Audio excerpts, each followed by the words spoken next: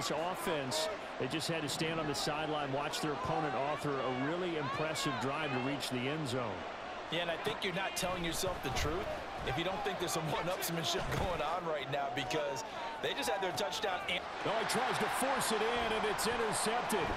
Picked off by Darnell Savage. And some space here. Now he's free at the 35. He may go. And into the end zone. It's a.